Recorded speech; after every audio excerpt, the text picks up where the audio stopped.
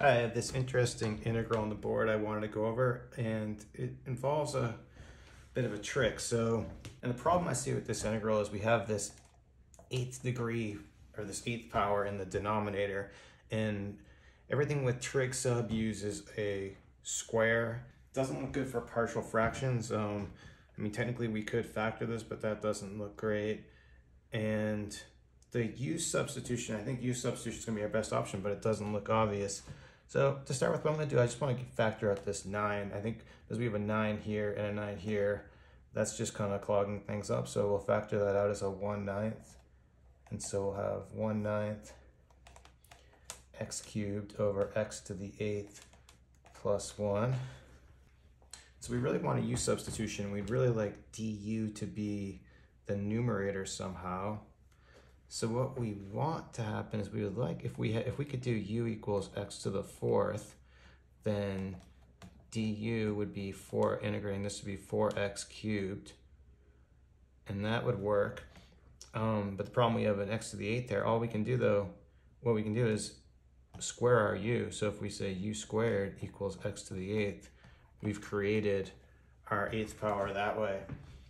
So then let's substitute all that back in. So we'll have but sorry, before I do that, we have a 4x cubed here, We have an x cubed here, so I want to create a 4. I'm just going to tack on a 4, and then we'll multiply it by a quarter. So we're essentially multiplying by 1. Then rewriting this whole business, outside of the integral, we're going to have 1 fourth times 1 ninth is 1 over 36. Integrating now all this is exactly our du. Sorry, I forgot my dx here. So we're gonna have du in the numerator. x to the eighth is gonna be u squared. Then we get our one plus one. And then this is a familiar integral. This is actually uh, inverse tangent.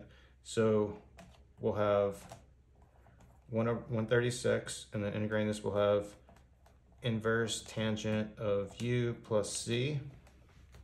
Then all we're left with is we need to back substitute. So we need to get our u back in here.